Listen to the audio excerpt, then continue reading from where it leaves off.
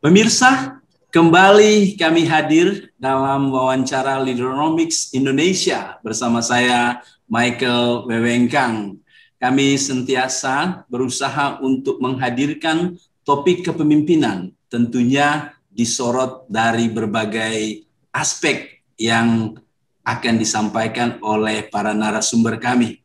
Tentunya para narasumber kami adalah mereka yang kaya dengan ilmu pengetahuan dan juga pengalaman. Dan lebih dari itu tentunya kaya dengan hati yang ingin berbagi. nah pada kesempatan ini kami sangat-sangat berbangga sebab kami dapat menghadirkan seorang tokoh uh, saya sebut dengan hormat Dr. Daniel Ronda. Dia adalah seorang uh, autor atau penulis buku dan juga seorang pembicara dan uh, sekarang ini adalah uh, associate uh, profesor dan juga dalam posisi sekarang ini sebagai pucuk pimpinan dari sebuah organisasi besar yang membawahi ratusan ribu orang, Dr. Daniel Ronda. Selamat malam, Pak. Selamat malam, Pak Michael. Selamat berjumpa. Ini di Jakarta, Pak ya? Iya, betul, Pak. Oke, pemirsa, jadi ini adalah wawancara uh, virtual antara Kuala Lumpur dan Jakarta. Harap Jakarta cukup baik, Pak ya? Ya, kami hari ini uh, apa namanya uh, sudah cerah sedikit, hmm, wah, tapi cukup. banjir cukup uh, merata di berbagai tempat di Jakarta. Wah, oke okay, nah. Pak. Uh, saya panggil Pak Daniel ini lebih senangnya ini. Ya. Pak Daniel, kita cukup dibanjiri dengan informasi-informasi dari media media sosial tentang isu kudeta. Ya. Oke, kita tidak akan membicarakan hal itu, tetapi dari uh, hal ini saya melihat sesuatu yang menarik yang mungkin uh, bisa kita angkat, yaitu tentang oposisi, Pak. Ah, menurut pandangan Bapak, apakah seorang pemimpin dapat menghilangkan semua oposisi atau hal-hal yang berpotensi untuk melahirkan oposisi? Bagaimana, Pak?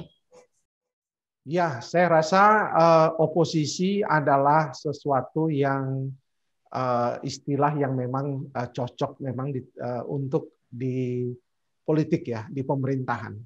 Tetapi uh, di organisasi biasanya kita mungkin tidak menyebut oposisi, tetapi uh, memberikan kritik, saran atau memberikan masukan. Saya rasa perlu ada yang kritis di setiap organisasi, di setiap lembaga.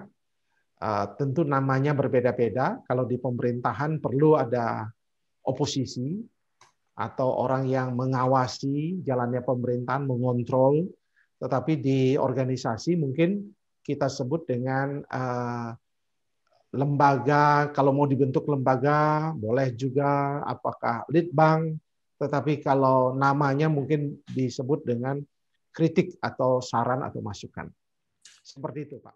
Jadi sebenarnya uh, walaupun tidak disebutkan sebagai oposisi, tetapi sebenarnya itu sesuatu yang pasti akan ada sebab harus ada kritik dan saran, Pak ya. Benar sekali, karena memang itu uh, para pemimpin harus menghadirkan suatu uh, channel atau saluran untuk dia mendapatkan informasi sebanyak-banyaknya tentang produk yang dihasilkan ataupun jasa yang dihasilkan ataupun apa pun daripada organisasi itu kerjakan.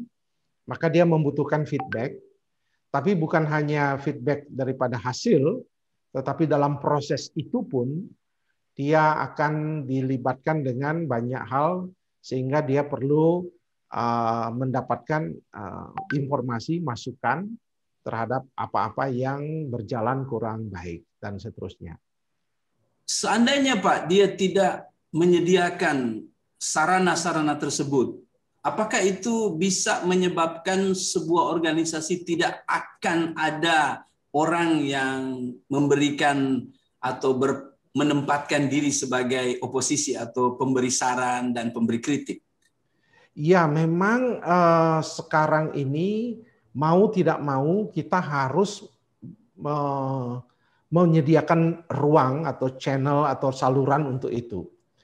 Kalau tidak, maka kita pasti organisasi itu akan lama-lama akan uh, ditinggalkan, lumpuh dan tidak uh, tidak berefektif lagi. Oh. Nah, kasus yang kita lihat, kasus misalnya yang terbaru di Indonesia ada seorang warganet atau netizen yang mereview produk sebuah uh, uh, produk yang terkenal di Indonesia, uh, produk uh, sepatu, tas dan semua yang bersifat mountain, pendakian dan sebagainya. Nah, ketika direview ternyata CEO atau big boss big bossnya keberatan dengan review itu lalu uh, dia memberikan surat somasi peringatan dan sebagainya, justru menjadi viral. Akhirnya mereka rame-rame boykot produk itu. Jadi uh, mungkin sudah dengar ya, kita tidak sebut produk di sini, yeah, yeah. tetapi itu sesuatu yang uh, sekarang ini bukan hanya di internal yang sering kali memberikan masukan. Dengan adanya dunia digital, maka Eh, masukan, kritik, saran itu justru banyak juga datang dari feedback dari media sosial dan itu para pemimpin harus mulai memperhatikan. Mungkin kalau dia tidak terlalu kuat, kadang-kadang ada pemimpin yang istilah dalam bahasa Indonesia-nya idiomnya itu telinganya tipis. itu nah kalau telinganya tipis, seharusnya telinganya tebal sebagai pemimpin, tetapi kadang-kadang ada yang telinganya tipis, maka dia bisa meng-hire atau eh, mempekerjakan satu lembaga yang mungkin menyaring semua masukan, kritik dan sebagainya. Sehingga ketika tiba di meja pimpinan sudah berupa semacam summary-nya sehingga dia tidak akan uh, merasa apa namanya sakit telinganya mendengarkan kritikan dan masukan. Karena itu memang uh, sebenarnya itu adalah sesuatu yang sangat sebenarnya penting dan sangat berguna untuk kita menerima Uh, kritikan dan masukan. Tetapi tidak semua orang siap, seperti Pak Michael katakan itu tadi. Jadi kalau kita tidak menyediakan uh, saluran, pasti akan muncul walaupun di luar dari intern kita ya, muncul kritikan. Jadi alangkah baiknya kalau di dalam internal kita kita menyediakan saluran itu sehingga itu akan uh, jauh lebih siap ketika kita menerima kritikan-kritikan tersebut. Begitu, Pak? Benar, benar sekali. Karena Eh, justru kritikan itulah yang akan membesarkan organisasi itu. Nah, tentu di dalam buku-buku literatur kepemimpinan memang ada istilahnya saya sederhanakan itu nyinyir ya.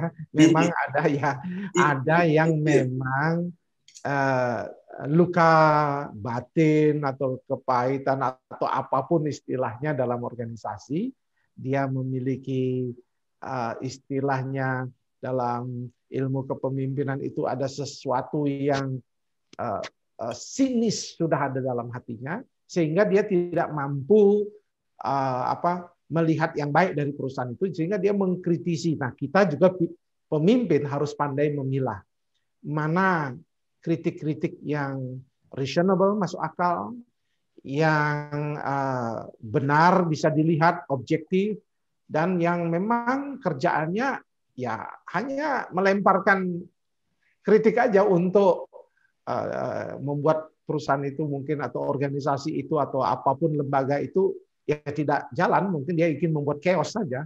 Ada orang-orang yang evil, ada orang-orang yang jahat memang. Ya, memang kita harus pandai membedakan itu. Jadi seorang pemimpin harus menyadari pasti oposisi ada, tetapi seorang pemimpin harus menciptakan ruang bagi oposisi sehingga oposisi yang muncul atau kritik dan saran yang muncul itu akan bisa disaring dan akan bisa memberikan efek yang positif malah kepada kepemimpinan. Iya, betul. Dan jangan heran bahwa pasti akan ada kritik-kritik yang sebenarnya itu evil, ya itu memang sengaja untuk menjatuhkan kita. Begitu Pak ya? Iya, itu memang uh, di dalam dalam kategori organisasi memang selalu akan ada orang yang uh, istilahnya barisan sakit hati. Ya itu juga ada. Jadi memang dia tidak akan pernah melihat yang baik. Semua yang dilakukan oleh uh, pemimpin akan dikritisinya ya. Sama seperti apa pun tidak ada yang benar di matanya ya jadi itu yang terjadi kalau dilihat presiden kita sekarang apa pun yang dilakukannya salah gitu ya kalau dia tidak senang ya kalau di posisi yang ekstrim yang senang ya dia tentu uh, akan memuji setinggi langit kalau kita ya kita harus objektif. Mana kelemahan, mana sisi baik, dan semuanya secara objektif. Saya rasa itu yang paling penting. Pak, apakah tidak memungkinkan untuk kita bisa menjalankan suatu model kepemimpinan yang akhirnya bisa menyenangkan semua pihak sehingga tidak memungkinkan lahirnya sebuah oposisi, Pak? Nah, itu yang tidak ada dalam buku literatur kepemimpinan dan pengalaman kepemimpinan ya. Eh, jadi kalau eh, kita eh, apa namanya mencari sesuatu yang 100% orang semua menyenangkan, bisa menyenangkan, itu tidak mungkin. Oh. Jadi hampir saya tidak menemukan sepanjang saya membaca buku kepemimpinan tidak menemukan akan hal itu tetapi justru kepemimpinan itu uh, ke kritik dalam kepemimpinan oposisi atau saran dan masukan apa dalam kepemimpinan itu justru memang diperlukan. Jadi memang bukan sesuatu yang dihilangkan tetapi dikelola, di manage. Sama seperti ada satu buku yang disebut uh, stress management atau manajemen stres. Uh, itu juga kita mengelola oposisi, mengelola kritik, mengelola hal-hal uh, yang bersifat Eh, masukan yang perlu ada. Jadi hampir tidak mungkin. Dan kalau berharap ada itu maka dia akan apa namanya frustrasi. Orang itu akan frustrasi kalau uh, pemimpin itu akan frustrasi kalau dia bisa. Dan akhirnya tangki cinta dia, kasih dia karena orang pemimpin itu harus memiliki uh, kasih sehingga dia mampu mendorong, memberi encouragement, memberikan memberikan apa namanya semangat itu akan habis nanti.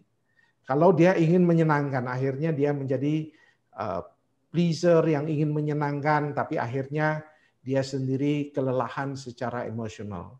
Wah. Jadi tidak mungkin itu. Wah, begitu Pak ya. Seandainya dia merasa bahwa wow saya sedang enjoy, tidak ada yang mengeritik saya, sebenarnya itu satu signal bahwa dia sedang dalam posisi yang sedang berbahaya, Pak ya. Iya.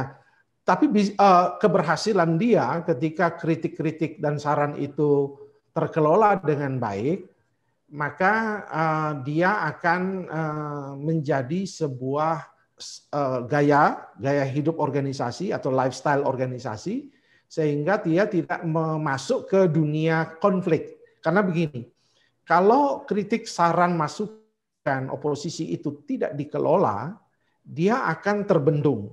Nah, terbendung itu laksana air, dia akan menjadi sebuah uh, disaster, bencana.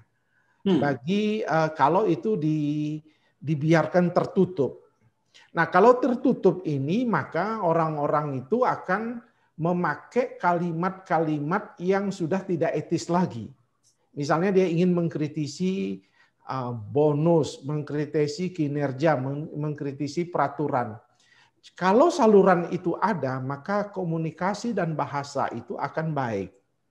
Uh, atmosfernya kalau dipelihara oleh pemimpin, maka akan baik. Tetapi jika ditutup, maka kritik kelihatan, tapi sudah uh, kata-kata yang tidak pantas mungkin sudah keluar, hal-hal yang negatif keluar, sehingga pemimpin yang menyadari kritikan itu tidak lagi mampu mengolah hakikat daripada kritikan atau posisi itu, tapi malah melihat caranya. Makanya orang Indonesia atau orang Timur bilang, saya ini tidak senang dengan caranya katanya ya, bukan bukan eh, kritikannya, caranya. Nah, kenapa bisa caranya di, oh, dimasalahkan? Itu ya. Karena ter, sudah tertutup. Orang yang tertutup maka dia menaikkan level kritiknya. Wah, nah, itu level kritiknya dari menyampaikan saran menjadi apa namanya memasukkan unsur tekanan emosional itu. Misalnya dalam konteks suami istri aja kan gitu ya. Misalnya kita uh, berkonflik dengan pasangan kita, kalau dia sudah ter, tertutupi salurannya, maka dia memakai kalimat-kalimat yang kamu tidak pernah perhatikan saya, padahal baru satu kali ya, tapi karena atau dua kali, kamu tidak pernah begini. Oh, jadi dan yang ya, mendengar juga jadi emosi, emosi juga. Ya. Karena itu tadi ke, ketutup saluran itu. Wah, wah, wah, wah. Ya, ya, ya. Oke, Pak. Wah, sangat menarik. Jadi ya. rupanya bagaimana kita mengelola uh, satu apa namanya strategi di dalam menampung kritik dan saran ini sebab ternyata kritik dan saran ini akan memberi daya maju, daya kembang dari sebuah organisasi. Tetapi ketika itu hanya ditampung-ditampung dan itu nantinya akan menghasilkan cara yang tidak sehat, Pak ya, yang akhirnya tidak memberikan dampak positif tetapi malah akan merugikan organisasi tersebut.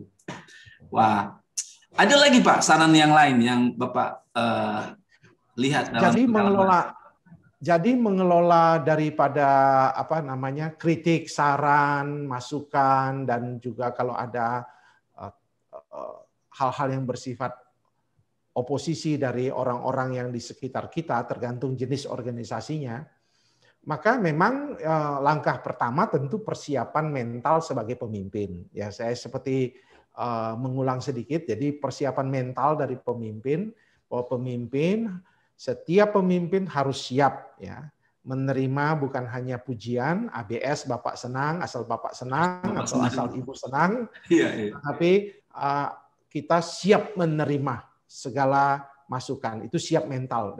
Ada pepatah orang Malaysia bagian Kalimantan bilang kalau monyet itu semakin dia naik ke atas pohon, semakin kelihatan pantatnya yang jelek gitu ya. jadi, jadi ya jadi semakin kita di atas, nah semakin akan orang menyoroti wah, sisi wah. kelemahan baik pribadi kita maupun uh, kebijakan kita maupun langkah-langkah yang kita lakukan secara organisasi. Nah, kita harus siap mental. Tetapi yang kedua, tentu kita memiliki tim inti yang akan membantu mengolah setiap kritikan dan masukan itu. Wow. Jadi kita perlu ada punya tim inti mengolahnya. Lalu yang ketiga setelah diolah tentu kita eh, ketiga menciptakan atmosfer yang eh, baik, atmosfer yang sehat, atmosfer yang kekeluargaan atau apa pun filosofi dari organisasi itu.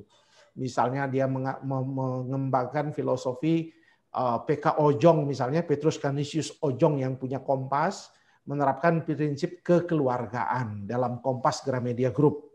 Sehingga uh, dia memang meninggal muda di tahun 90-an uh, dia menerapkan misalnya bonus THR-nya bisa sampai dua kali THR Eh, kalau yang eh, lembur dikasih telur dan sebagainya, dia sendiri datang menyapa karyawan-karyawan.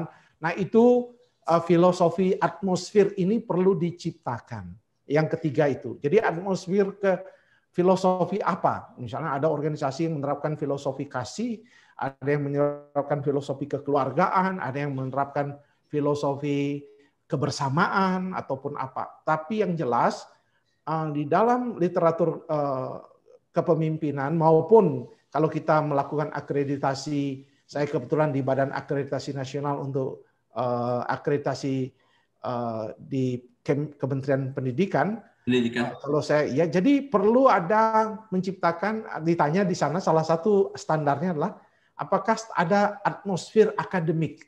Jadi bukan hanya sekedar dosen ngajar pulang, dosen ngajar uh, dengan masuk pulang, tapi diharapkan ada interaksi hmm. ada fellowship dan seterusnya. Nah, di organisasi pun seperti itu.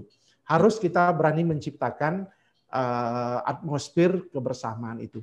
Sehingga saluran-saluran oposisi saluran itu tetap tersalurkan tapi dengan etika dan sopan, kesopanan sesuai dengan budaya kita di mana organisasi itu berada. Jadi minimal tiga hal ini uh, perlu dikembangkan sehingga uh, kita Eh, menerima itu sebagai bagian dari uh, untuk mengembangkan mengembangkan daripada organisasi itu sendiri. Wah, Terima kasih Pak. Ini sudah SKS berapa ini Pak? ya sama-sama belajar. Oke. Nah itulah uh, beberapa pemikiran yang tentunya masih langkah di dalam uh, mungkin dalam dunia kepemimpinan memandang oposisi itu dengan cara pandang yang indah seperti ini dan dapat mengelolanya dan akhirnya dapat menggunakan itu secara uh, baik. Nah, kita akan masih meneruskan pembicaraan hangat dengan uh, Dr. Ronda.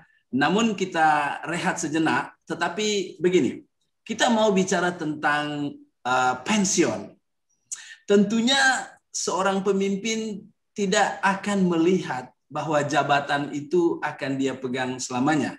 Itu ada waktunya. Nah, bagaimana menghadapi pensiun daripada uh, posisi atau jabatan itu? ikuti setelah kita rehat sejenak.